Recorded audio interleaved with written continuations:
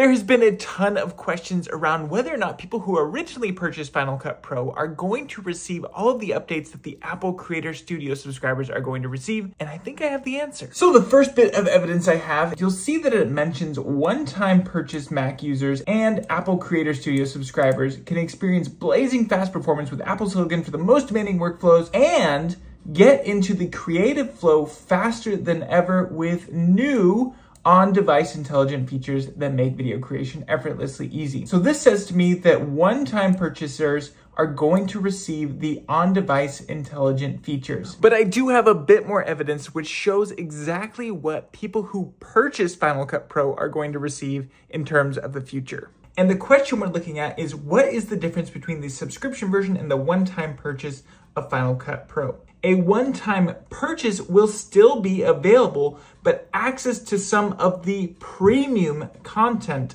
is available only to Apple Creator Studio subscribers. So that sentence makes it sound like people who purchase Final Cut Pro are not gonna get the future updates, right? They're not gonna get the content. But I think the word content here is extremely important. Content typically refers to stuff like templates, titles, transitions, effects. Content is not the word that you would use if you are putting, say, a feature behind the paywall. So if you ask me, I believe that people who originally purchased Final Cut Pro are going to continue to receive the amazing new features coming down the road, but they might not get access to, say, some templates and titles, which will be included as a part of the subscription.